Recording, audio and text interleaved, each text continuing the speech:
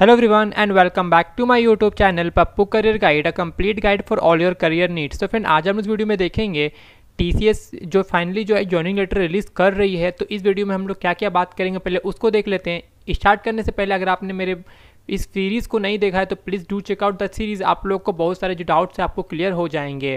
ठीक है? तो इस वीडियो में हम बात पहला जो क्वेश्चन है कि which page receiving T C S joining letter तो पहले हमें भी दिखाया तो आपको टी सी एस का ज्वाइनिंग लेटर जिसने रिसीव किया है।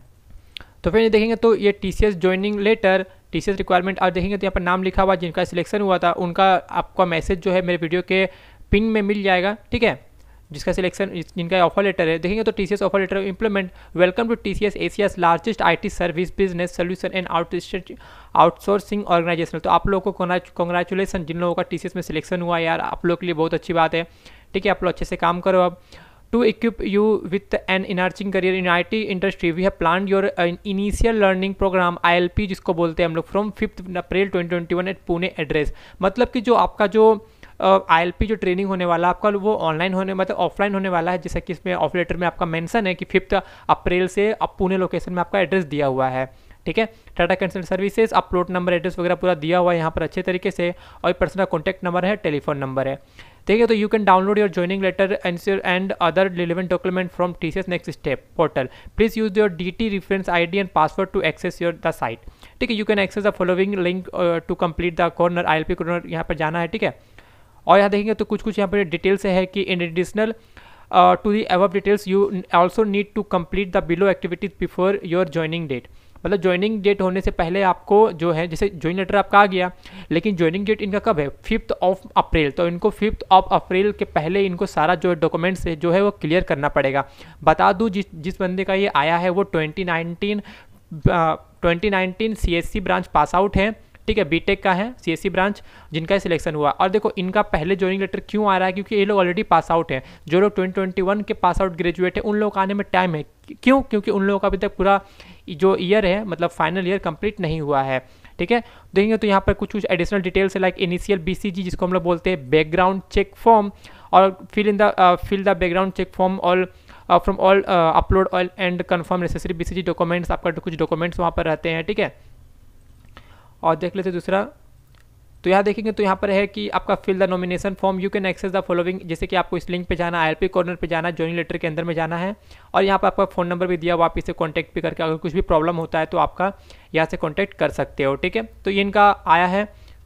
तो फिर अब हम क्वेरीज को देख लेते हैं कि लाइक विच बेज रिसीविंग तो जिसका जिसका ये आया है वो ट्वेंट वो फरवरी में अपना एनक्यूटी एग्ज़ाम दिए थे, ठीक है? ट्वेंटी के बैच है S C when T C S I L P training will start आप जैसे कि आपको मैंने दिखाया मेल में तो फिफ्थ ऑफ़ अप्रैल से, ये डिपेंड्स करता है बेच वाइज और फ़ेज़ वाइज ऐसा नहीं कि उनका हो रहा है तो आपका भी वही होगा अगर आप ट्वेंटी ट्वेंटी वन बैच के हो तो ऐसा नहीं है।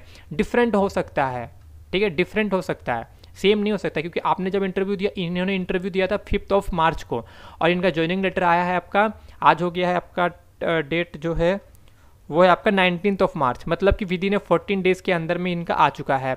और ILP training is offline online तो जैसे कि मेल पे मेंशन है तो ऑफलाइन तो आई थिंक वो ऑफलाइन होगा बट इन दैट केस अगर वो ऑनलाइन करते हैं तो आप लोगों को जाने की ज़रूरत नहीं है।